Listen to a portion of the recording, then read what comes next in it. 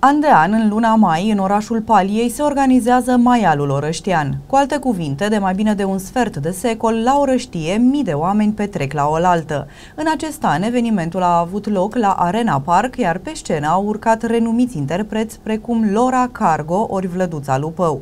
Și cei mai mici dintre locuitorii urbei au avut parte de un parc de distracții în adevăratul sens al cuvântului. Petrecerea câmpenească de la Orăștie a reunit pe scena amplasată în incinta Arena Park o serie de artiști de renume. A fost muzică pentru toate gusturile, preparate culinare savuroase și un mega parc de distracții pentru copii. De asemenea, mesele comercianților au fost extrem de ofertante, de la tradiționalii mici și diferite preparate din carne până la porumb fiert, vată pe băț și multe alte bunătăți ce au fost savurate de către orăștieni la evenimentul ce este organizat de mai bine de un sfert de veac. O trei zile împlinite la Orăștie, trei zile de normalitate, de uh, sărbătoare festivă la Orăștie.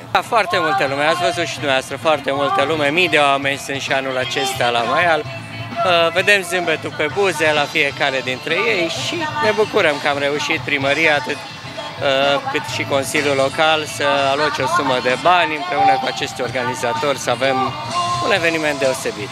Oamenii au venit în număr mare la Maial, iar unii dintre ei au venit special pentru anumiți interpreți ori formații, precum Cargo, Restart.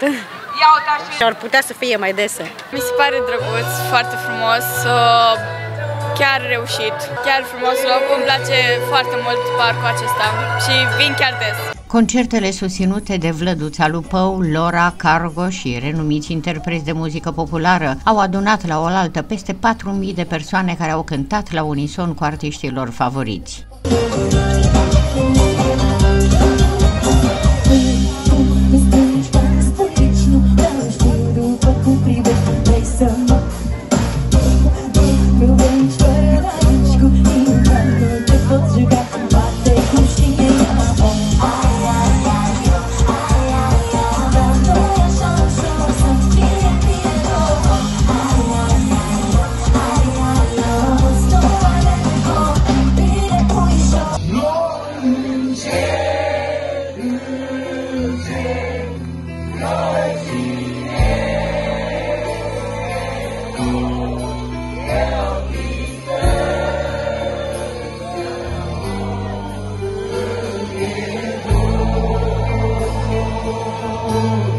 Cunoscut pentru bogăția istorică, dar și pentru minunatele peisaje naturale, municipiul Orăștie a continuat tradiția și a organizat pentru al 26-lea an Maialul. Astfel, atât localnicii cât și turiștii care au poposit aici au avut parte de super atmosferă.